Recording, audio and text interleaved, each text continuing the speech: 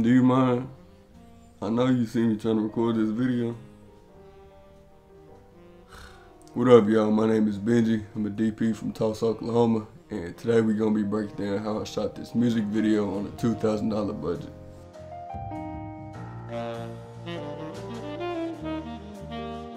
So first we're gonna be going over the pre-production side of things, cause I was DP director and producer on this. So if that's boring to you, you can just skip ahead to the cinematography part. So as far as pre-production, I use an app called Milanote. This pretty much just allows me to put all my thoughts in one spot so the rest of the team can see. I'm not gonna lie, I spent most of the budget on gear, as you can see. And truth be told, the only way I was able to pull this off because I had a bunch of my friends who are talented filmmakers come and help. So the client, Nando, he reached out to me on Instagram and we met for coffee and then we started discussing what him and I's vision for the video was. And he told me he didn't really want anything story-based as much as he just wanted cinematic visuals. And we kind of agreed to make it like an 80s, 90s themed video. So for this shoot, we actually spread it out over two days just to make it a little bit easier. So we kind of knew that we wanted to do a car scene and then do something in the house. So we looked through a bunch of B&Bs and we finally found one we liked kind of that mid-century modern look. And then Nando also found this dope drop-top Buick, and so we used that for the car scenes. And then after that, I just pulled some stills off ShotDeck. and this is kind of gave me and the rest of the crew some visual references of what I was hoping to go for. And originally we was gonna do a trailer scene, but we couldn't find a trailer, so we just kind of. So after that, we locked down some shooting dates and then booked the B&B in the car and all that was left after that was just to find a route to drive the car along. So I just kind of went out and drove around and found some spots that I liked. And then also paid attention to when lighting was best and what direction we could shoot. So that way on the day we wouldn't be rushing to fight in sunlight. So gear wise we shot it on my a7S III and two lenses, the Sony 35-1.8 and 85-1.8. And the reason I chose this is because it's the only two lenses I own. And then I use glimmer glasses diffusion to kind of knock that digital edge off. And then last lastly, I decided to shoot it in 155, which is pretty close to the Alexa Mini open gate look. And it's kind of a good in between, between 16 by 9 and 4 by 3. Okay, now we get into the fun stuff. You good? So day one of shooting, we did all the car scenes. And, and this is where my key grip Spencer really got to shine because we mounted $5,000 worth of camera gear on a $60 mount from Amazon. So I started with these shots from behind because the sun was still pretty high and I wanted to wait till it got a little bit lower to do the shots of his face. And by the way, during this shot, I'm laying down in the back seat right here with an HDMI cord running to a monitor. but you gotta make it work. So once the sun got a little bit lower, we flipped it around to do the shots of his face. And when we first put the camera up, we was getting this real bad reflection from the windshield. So I put a circular polarizer on, and that's pretty much just something to knock down reflections. So I tried to get him to drive north as much as possible, so that way the sun would just kind of wrap around his face just a little bit. And then you get all these cool reflections from the trees and the sun.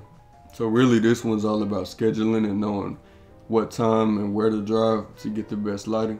So after that we hurried up and got the camera on sticks and the theme of this music video, by the way, is like a back and forth between lovers. So it's kind of showing him going through the motions and going back and forth. Like, should I go see him? Should I not go see him? But it really wasn't a storyline as much as it just kind of was interpretive visuals. Alright, so for this shot, we had Sticks kind of over the shoulder, looking down on him. And he was looking at somebody just off screen to give him an outline. The shot was pretty simple lighting wise. I just had somebody Hollywood some neg over here and then I had my gaffer Hollywood the tube light off camera right.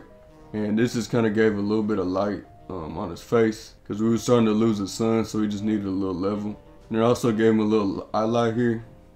I like this shot just for the composition, but the Wandering DP broke it down on his channel and he said it looks flat, so I don't know. So after that, we did a company move to shoot some nice stuff for these tunnels.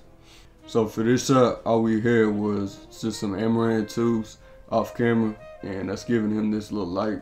And then this backlight is coming from the street lamps. And then this little crack effect was actually just a crack in the mirror of the car. So it was simple, but it was cool. And then this shot's pretty much the same setup. We just used some Amaran tubes to light his face. And then for the moving stuff, we just put him on the floor so he get a little up light. Alright, so day two we shot at the B&B. So for this shot, we just had two 200Xs outside, which were spilling through the window. And it was actually a cloudy day, and this is the only reason we could get that look, because a 200 watt light is not strong enough through the window. And then the only other thing I did in here was I boomed a little cheap $60 LED panel light overhead. And this just kind of gave him a little top light as if it was a bathroom light. But I ain't gonna lie, looking back, I wish I would have turned it down because it feels super saucy on top. And then when we going for the close up, it don't really match. And then for the close-up shot, we just walk those lights in, so it'd be a little more dramatic on his face. And then I turned the overhead light off quite a bit, because it was just looking a little too filly. But I do love the little soft top he was kind of getting on his face from this, because uh, there was some curtains that we shot the lights through. So that's what's giving him this soft wrap. And then this harsher light is just the open face light hitting him. So we got some coverage of that, and then we moved on to the bedroom scene. And this is probably my favorite scene of the whole video. So for this scene, all we did was we put a 200X outside. And I think it was set to like 3400 Kelvin. And that's just giving him this nice edge and this harsh light. And then I took the other 200X and bounced it into the ceiling. And that's what's giving him this little ambient return. But I think it's pretty believable, especially for 200 watt lights.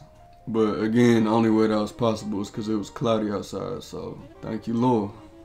And then we also shot this overhead, and this was just the camera on sticks looking down at him.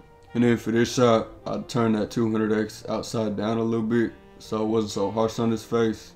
Hey, let me tell y'all, this is why you hire our director for this shot right here. Just think about how boring it would have been if he had a cell phone and there wasn't this blanket. I'm telling you, they're gonna make your life easier as a DP. So this shot was a little more complex lighting wise. So first thing I put a practical bulb that I could dim on my phone in this lamp. And then I had my art director put a topper on this lamp so that way it wouldn't spill out all on the top. And this practical is motivating the key light, which is a 200X with a softbox on it. And then I threw a grid to keep the spill off the wall as much as I can. And that's what's giving them this light right here. Damn, I just delete. And then I added a LED panel overhead and this is just to give him a little topper, but looking back, I should have took it away because it just kind of filled in the dark side.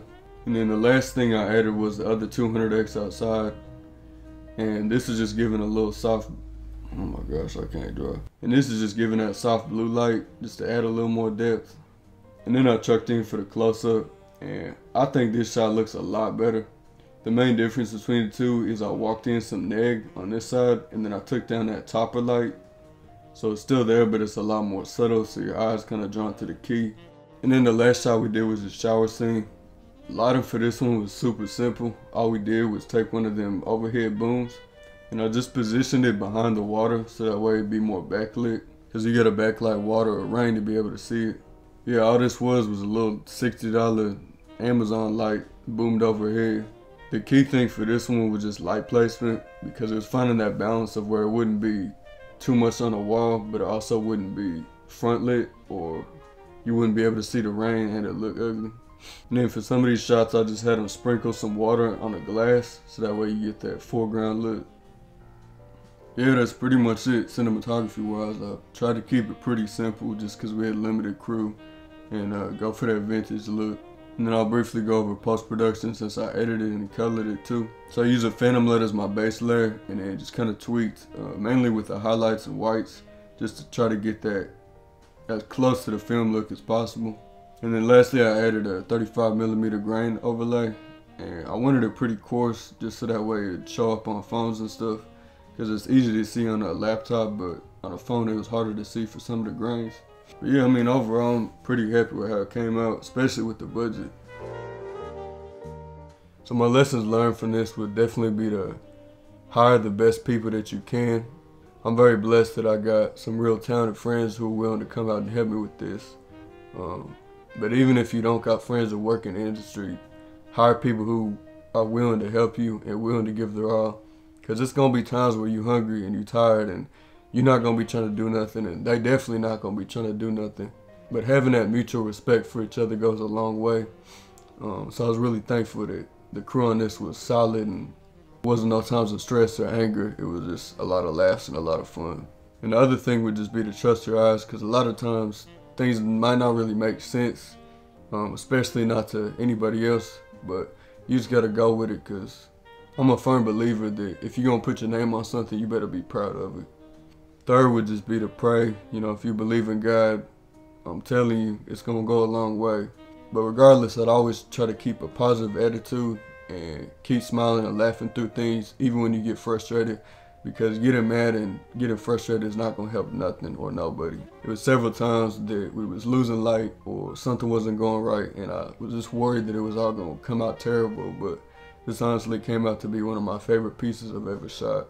So I'll just say trust the process. You know, don't don't overthink, don't stress, but you know enjoy it. Cause especially if you're starting out in your career like I am, there's really no better time to make mistakes.